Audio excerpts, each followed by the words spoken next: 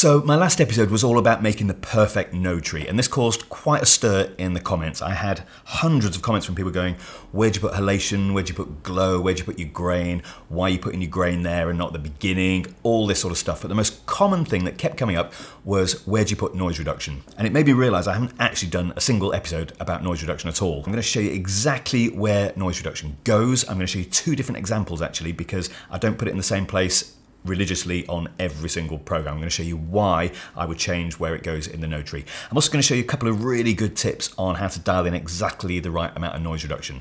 And to do that, I've been very kindly allowed to use an actual BBC One documentary that I worked on in June. It's called Tommy Jessop Goes to Hollywood. I'll put a link to it in the description. And Tommy's brother, Will, is actually the director. I've worked with him a couple of times now, and he's very kindly let me use the footage from that to show you a real world example. So let's get straight into it. So this is the actual original project that I worked on. You can see my node structure is very similar to what I gave away in my last episode. And this is a one hour BBC documentary. So let's have a look at how many shots that would be. So looking in Lightbox, I've got all clips selected and it's 661, which is very typical for a one hour documentary. The reason I'm pointing that out is because I don't use noise reduction unless I really have to. I don't like using noise reduction. It's as simple as that. If I filter this by noise reduction, you can now see how many clips I've actually got noise reduction on, and it is 56. So it's less than 10% of the program has got noise reduction on it. And you can see quite clearly some of this stuff is very low light. This is a sort of fly on the wall type documentary, uh, a lot of run and gun shooting. So you're obviously going to get scenarios where the lighting is not perfect. So that's mainly why there's noise reduction in here. So to allow me to explain the different techniques of noise reduction, I've chosen two very specific clips from the documentary and I've put them into a separate timeline. So let me just show you what that is about. I've got a shot here and let me just quickly scrub through that and I've got a shot here and they both have different noise reduction properties and they're in different places on the timeline. So you can see this one is on node 2 and the previous shot, the noise reduction is actually on node 3. So I'm going to explain why that is happening. So let's take this first shot here and let's have a look at what's going on. Now, just to show you a quick bit about the color management that's going on here, if I go to my settings, go to color management, we're in our regular DaVinci wide gamma intermediate timeline color space and our output color space, Rec 709 gamma 2.4, and we're using CSTs for our color management, okay, all documented in that episode last week. I've got one on the end here. This is taking us DaVinci wide gamma to 709 as always, and our front CST is our camera profile up to DaVinci wide gamut, and the camera profile on this one is Panasonic V-Log, okay, so it's Panasonic camera.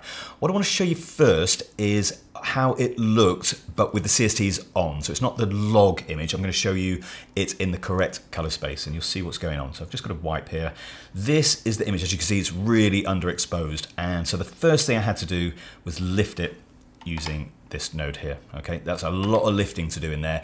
Because it's underexposed, you've got noise, and I've had to lift it a lot. So this is why I've put the noise reduction after this node in this instance, okay? Normally I would have it after the CST straight away, but this one needed so much lifting that I've actually put it in third. I wanted to lift the image up first. Now, if I switch this noise reduction off, you will see how much noise is in here. Let me just zoom in a little bit for you. I'll zoom in 200% and you can see a lot of noise in here. Okay. So let's have a look at what I did for this shot. I'm going to put it back to uh, fit.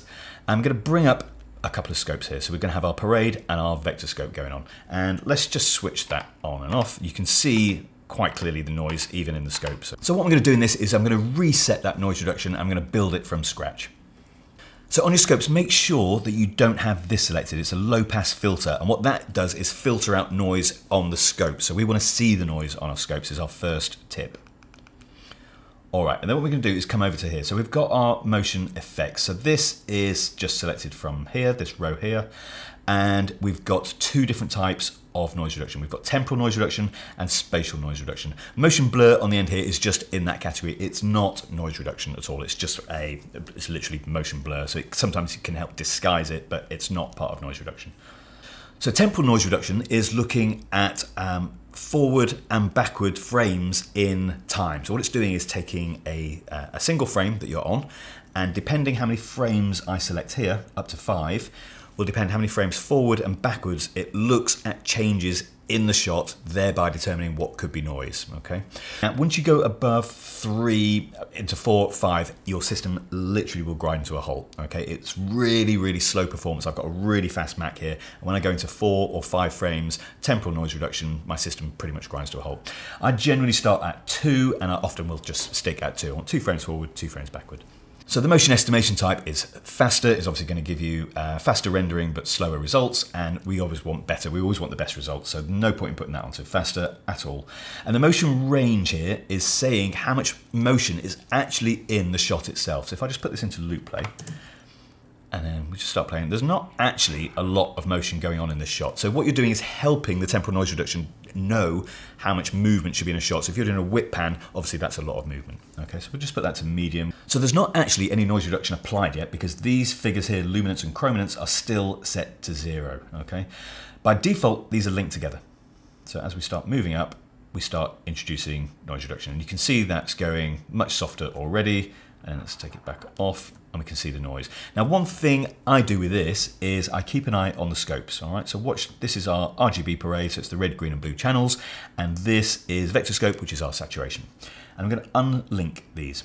So the first thing we do is dial in temporal noise reduction in the Luma channel, and let's just look at our scope and see what's happening. So as I move that, you can see there's a point at which, if you look around here, there's a point at which it takes out the noise and then it doesn't do anything anymore. So that would be a good point to start at. You just find the point where it kicks and then just come back a little bit. Let's have a look what's happening with the chroma. Okay, there's a little bit in the shadows there, as I'd expect. Okay, so just down in the shadows, that is being affected. Okay, but not so much in the highlights there. So somewhere around about there. So let's leave that set for there for now. The motion here is, this is helping with aliasing and artifacts that you might get on the image when temporal noise reduction is applied. So you can adjust that higher or lower amounts of motion. And the blend is obviously blending it back to zero. So if I have that back to on 100, I've actually effectively taken the temporal noise reduction off. All right, let's have a look at spatial noise reduction. What spatial noise reduction is working on a frame by frame basis, so it's much more accurate than the temporal noise reduction. It's literally analyzing the image and it's trying to keep as much detail as it possibly can. So it's a far more intelligent noise reduction, but again, this is much more processor intensive. So you've got your faster mode. We don't want to work faster, okay? We want to work at least better. The radius is the amount of softening or blurring, if you like, that the spatial noise reduction is going to apply to the image. So we want to keep this as small as possible. So start with small. If you need to build it up, we can go higher. So next we've got the threshold for our spatial noise reduction and Luma and Chroma are actually locked together.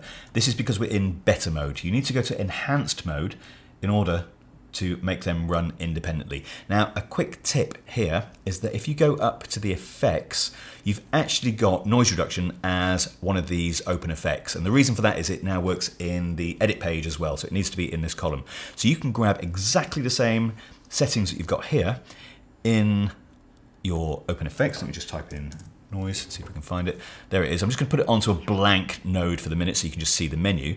But what's nice with this one is if I go to spatial noise reduction and go to better, I can actually separate luminance and chrominance out. So if you need to do that, but you just want to work in better and not enhanced, you should use it using the open effects. And in fact, sometimes I get better quality from the better mode than in enhanced mode. So it's worth playing with both. The main reason I'm not using it as an open effects all the time is because I'm on the advanced panel and it's really, really quick to dial in noise reduction on the panel. So what we're doing now is just having a look at how much temporal and how much spatial to put in. And ideally, I want to be working with spatial a bit more than temporal. So I try and get them to about a half split. So whatever I've got going on in spatial, I'll try and sort of work on measurements around about half in the temporal. Don't go exactly half, but somewhere around that sort of ratio. So we've been using our parade and our vector scope at the minute. If I just switch that on and off, that node, we can see it's definitely reducing noise reduction. And let's just zoom into the image. Let's have a look at what's really going on here. It's his face that is concerning me quite a lot in here. We want to make sure that that doesn't look noisy. If I play that in a loop, okay, you can see without noise reduction on, it really did need noise reduction in this instance, okay? I avoid it like the plague, but I did actually need it here. So let's just put it back on. And I just don't want to go too heavy. I don't, it's a little bit of a soft shot anyway, but I don't want to overdo it.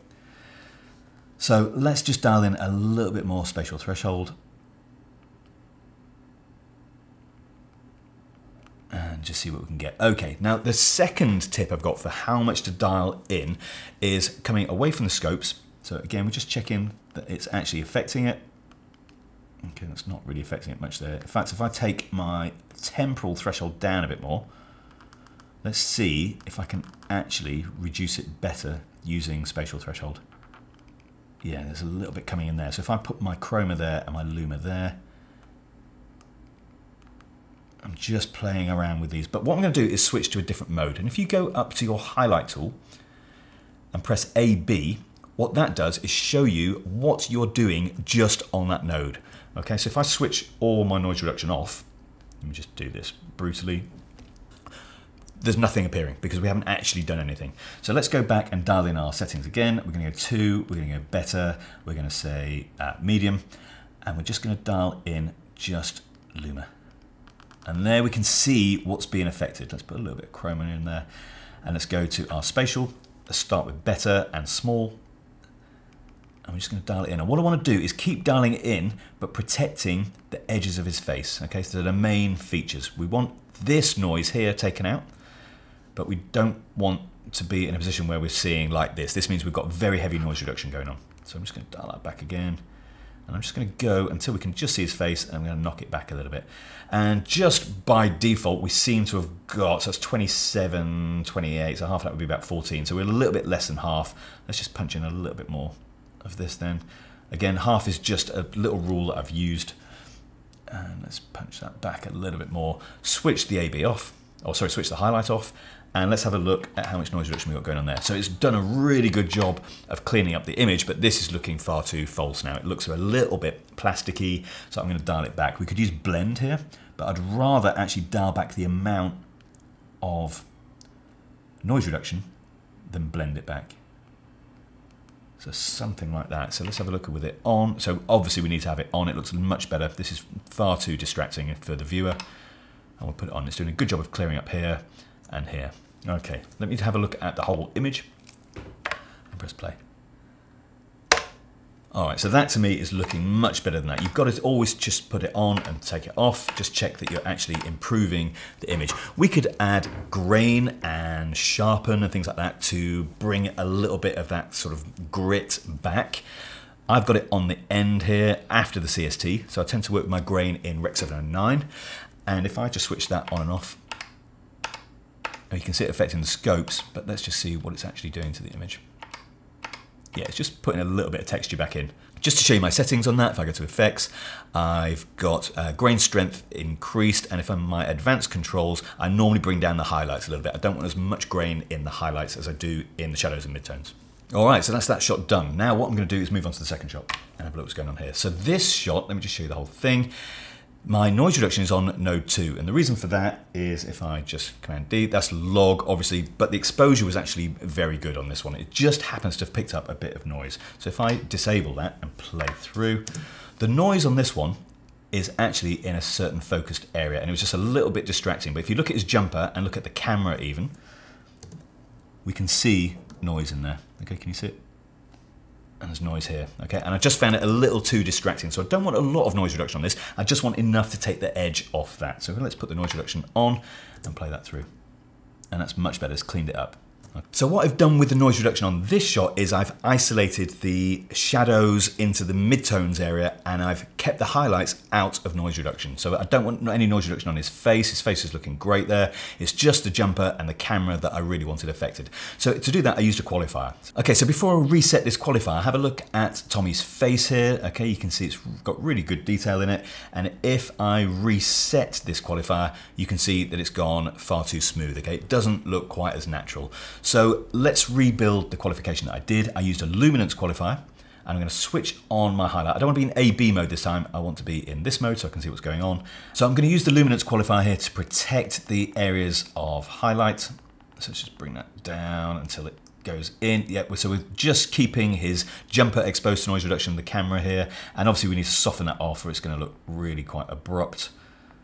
So something like that. Maybe I just knock that back a little bit. So I'm trying to concentrate on what I'm doing and explain at the same time. Something like that. Let's have a look at what that looks like. So I'm going to take that off. I'm going to enable and disable. So there we can see the noise reduction is nicely taken out his jumper. and his face has been protected. Okay, we just got a little bit going in there, but let's just play it through. Always play noise reduction, you really want to play it. And if you're struggling to play this in real time, what you can do is go to playback, go to render cache, say user, right hand click on here and say node cache on, and then that will now render. So if I play that through, it's going to start rendering. It will go blue once it's rendered. There you go. So we've now got real-time playback of that noise reduction. And anything I do after that, this will stay rendered. If I do anything before it, then it will need to re-render that cache. Okay, that's a disadvantage of doing the node too late in the timeline. So take a look at this video that's appearing here if you want a better breakdown of my perfect node tree. This is the node tree I use on this BBC program as well. Look after yourselves and I'll see you in the next episode. That was definitely a 10 out of 10. Oh. Wishes.